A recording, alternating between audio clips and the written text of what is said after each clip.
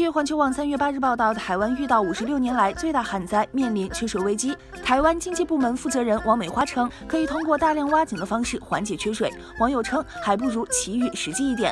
网友的预言最终成真。三月七日，台湾农田水利署真的开坛求雨。当天上午，近三千名相关人士身穿白衣聚集在镇澜宫，整个祈雨仪式长达两个多小时，期间还有跪拜环节。台湾农委会主委陈吉仲表示，过去一直有这样的祈雨习俗，除此之外，还将积极调整耕作制度，以应对极端气候的威胁。据农委会公开的数据，全台一期作物有近四分之一停灌，创二十年来最高。民进党当局真的开坛求雨，前官员借闻即感叹：民进党当局真会开玩笑，农业供水不足，应当用科学的方式解决，怎么能依靠开坛祈雨呢？